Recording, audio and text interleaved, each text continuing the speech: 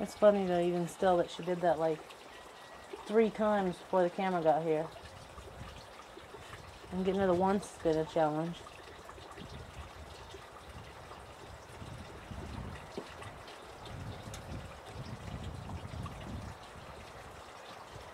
So when she starts, she starts kind of. Yeah, she's starting to do that right now. She's getting wobbly. You know what she reminds me of? Choir in high school. Mr. Rossi would be like, don't hold your knees too straight. If you lock your knees, you'll pass out on the stage. How do you? And I can remember seeing, if you stand with your knees locked totally straight for very long, it can make you pass out. I remember seeing someone start swaying on the risers once. There she goes. There she goes. Oh, she's not going to go all the way down this time.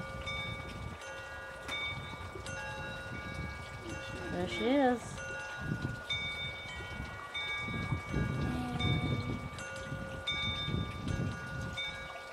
Seems like she's trying not to. She is trying not to. Since the camera got here.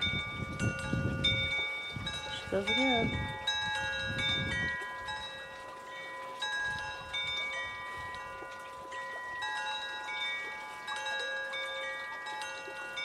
I'm gonna post this on YouTube and you can ask Michelle for a link or an email and send it to her. How do you post stuff on YouTube? I have her email address, you know what? There you go. Before I scroll, glasses scroll. I was gathering up stuff to get out of the way from the some stuff, the stuff that I would need at home, and and I looked and it was her email address, and I grabbed it, stuck it in my backpack. There you go. Email a link. Say, hey, we got the horse recorded.